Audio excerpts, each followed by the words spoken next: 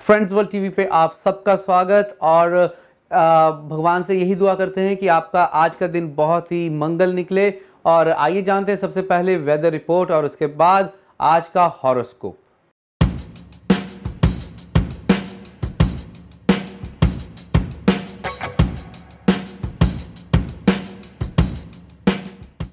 नमस्कार दोस्तों, मैं हूँ एस्ट्रो पवन। स्वागत है आपका हमारे इस प्रोग्राम में, जिसमें हम बात करते हैं आपकी राशियों की, कैसा रहेगा आज का दिन आपके लिए, करेंगे चर्चा इसके ऊपर। सबसे पहले शुरुआत करेंगे आज के पंचांग से। आज 7 जनवरी 2021 और दिन जो है वो आज वीरवार का रहेगा। कृष्ण पक्ष की आज अष्टमी तिथि रहेगी और जो है नक्षत्र वो है जो चित्रा नक्षत्र रहेगा। गोचर चंद्रमा आज करेंगे कन्या राशि में। राहु काल का समय जो रहेगा दोपहर के दो बजकर अड़तालीस मिनट से लेकर शाम के चार बजकर पैंतीस मिनट तक जो है वो रहेगा। तो आइए शुरुआत करते हैं आपकी राशियों से। आज सबसे पहले बात करेंगे एरिस, यानी कि मेष राशि से। मेष राशि वालों के लिए बात करूँ तो आज कहीं ना कहीं विदेश यात्रा के लिए समय बहुत ही अच्छा है, शुभ है। लंबी यात्राएँ की जा सकती हैं जो आपके लिए काफ़ी लाभप्रद भी रहेंगी। बस एक बात का थोड़ा सा ज़रूर ध्यान रखें पानी और दूध का दान आज नहीं करना है, नहीं तो कहीं ना कहीं चिंताएँ, परेशानियाँ आपकी जो है, वो बढ़ सकती हैं। काफ़ी अध्यात्म की तरफ़ अगर बात करूँ तो आध्यात्मिक स्पिरिचुअलिटी के लिए ये समय आपके लिए बहुत ही अच्छा रहेगा। जो लोग अपना अध्यात्म में अपना आगे करियर जो है वो बढ़ाना चाहते हैं या अध्यात्म के क्षेत्र में आगे बढ़ना चाहते हैं तो उनके लिए ये बहुत ही शुभ रहेगा।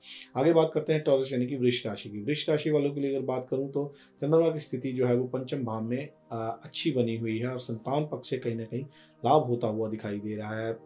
कोई अगर उन्होंने एग्ज़ाम दिया हुआ तो उसके भी रिज़ल्ट जो है वो शुभ होते हुए दिखाई दे रहे हैं। भाग्य आपका साथ देने वाला होगा।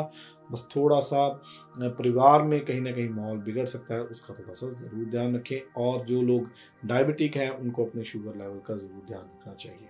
आगे बात करते हैं जमनाई यानी कि मिथुन राशि की। मिथुन राशि वालों के लिए बात करूँ तो सेहत आज कहीं ना कहीं आपकी बिगड़ सकती है। कहीं ना कहीं दांतों में प्रॉब्लम आ सकती है या कहीं नर्वस सिस्टम में कोई ना कोई प्रॉब्लम हो सकती है। थोड़ा सा दिमागी परेशानियाँ भी जो है वो आज बढ़ सकती हैं। थोड़ा सा उसका ज़रूर ध्यान रखें।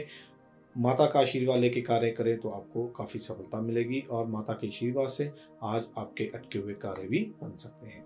आगे बात करते हैं, कैंसर यानी कि कर्क राशि की। कर्क राशि वालों के लिए अगर बात करूँ तो पति पत्नी में संबंध जो है वो आज अच्छे नहीं दिखाई दे रहे। सूर्य, शुक्र की स्थिति भी बहुत ज़्यादा अच्छी नहीं है। पत्नी के स्वास्थ्य के लिए कोई भी काफ़ी चिंता बनी रहेगी। कामकाज की स्थिति अच्छी रहेगी, जॉब में प्रमोशन होने के योग बनते दिखाई दे रहे हैं।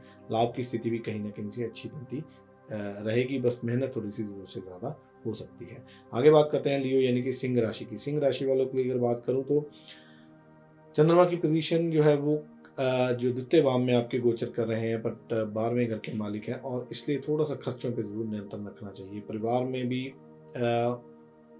कहीं ना कहीं चिंता का विषय हो सकता है। कोई ना कोई कहीं किसी को कोई बीमारी हो सकती है, कहीं ना कहीं हॉस्पिटलाइज पे खर्चा हो सकता है तो इसका थोड़ा सा ज़रूर ध्यान रखें। छठे भाव में, जो है, बृहस्पति भी वो इंसान को या तो कहीं अध्यात्म की तरफ़ लेके जाते हैं या भौतिक सुख में आपको ये फ़ायदा करते हैं तो ये दोनों चीज़ें आपको नहीं मिलती हैं। तो कोशिश करें कि अध्यात्म की तरफ़ जाएँ तो आपके लिए अच्छा रहेगा।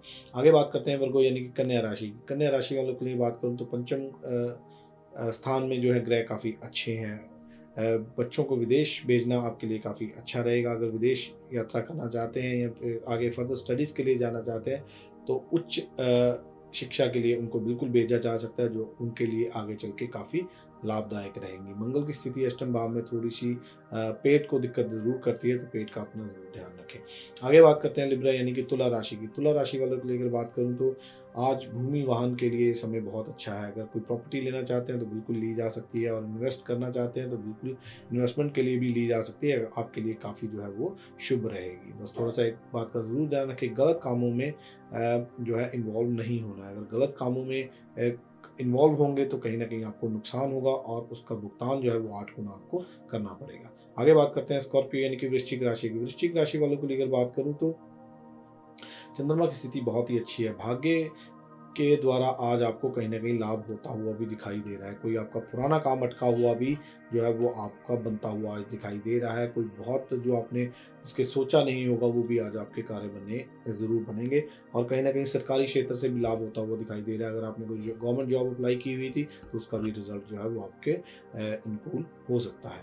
आगे बात करते हैं सजिटेरियस यानी कि, धनु राशि की। धनु राशि वालों के लिए बात करूँ तो थोड़ा सा गुस्से पर कंट्रोल रखने की ज़रूरत रहेगी, क्योंकि गुस्सा स्वभाव में कहीं ना कहीं नुकसान कर लेता है। हमारे रिलेशन भी इसके कारण बिगड़ जाते हैं। चंद्रमा की स्थिति जो है वो दशम भाव में कहीं काम काज की स्थिति को भी ये बिगाड़ सकते हैं, क्योंकि बॉस के साथ अनबन होगी, गुस्सा होगा, सहयोगी भी आपको साथ नहीं दे पाएँगे और कहीं ना कहीं जॉब में आपके दिक्कत परेशानी हो सकती है।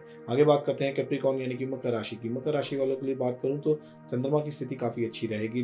पार्टनर की तरफ़ से कहीं ना कहीं लाभ होता हुआ दिखाई दे रहा है। सूर्य और शुक्र जो है वो बारहवें घर में बहुत ज़्यादा फ़ायदा तो नहीं देते हैं बट क्योंकि अगर शनि आपका लगन का उच्च का है तो कहीं विपरीत राजयोग की स्थिति में बैठे हुए हैं, जो आपको फ़ायदा ज़रूर देंगे, क्योंकि विपरीत राजयोग की कुंडली में जब स्थिति बनती है तो ये एक अच्छा शुभ कार्य करवाती है और लाभ भी कहीं ना कहीं से ज़रूर आपको होता है। आगे बात करते हैं क्वेरी यानी कि कुंभ राशि की। कुंभ राशि वालों के लिए अगर बात करूँ तो सूर्य की स्थिति एकादश भाव में बहुत ही शुभ रहेगी आपके लिए। लाभ भी आपको होगा, सप्तम भाव का जो है मालिक को कहीं ना कहीं पार्टनर की तरफ़ से आपको लाभ होता हुआ दिखाई दे रहा है। कामकाज की स्थिति काफ़ी अच्छी रहेगी, परिवार में माहौल काफ़ी अच्छा रहेगा। बस थोड़ी सी छोटी मोटी यात्राएँ करने से ज़रूर बचें, अगर ज़रूरी ना हो तो यात्रा ना करें, नहीं तो कहीं ना कहीं चोट लग सकती है। आगे बात करते हैं पाइसिस यानी कि मीन राशि की। मीन राशि वालों के लिए बात करूँ तो चंद्रमा की स्थिति काफ़ी अच्छी है। मंगल भी द्वितीय भाव में आपको आर्थिक स्थिति के लिए समय बहुत ही अच्छा रहेगा। जो लोग लाभ आगे व्यापार में लाभ कमाना चाहते हैं और लाभ को, व्यापार को बढ़ाना चाहते हैं तो बिल्कुल बढ़ाया जा सकता है। और कहीं ना कहीं सरकारी नौकरी के भी योग बनते दिखाई दे रहे हैं। कहीं जिसमें इनकम में काफ़ी एक अच्छा जो है आपको मुनाफा भी हो सकता है या इनकम भी आपकी काफ़ी जो है बढ़ने के योग दिखाई दे रहे हैं। तो बिल्कुल अगर जॉब नहीं अप्लाई करना चाहते हैं तो कर सकते हैं, समय बहुत ही शुभ रहेगा। तो कल फिर मिलेंगे आपकी राशियों को लेकर। तब तक के लिए नमस्कार।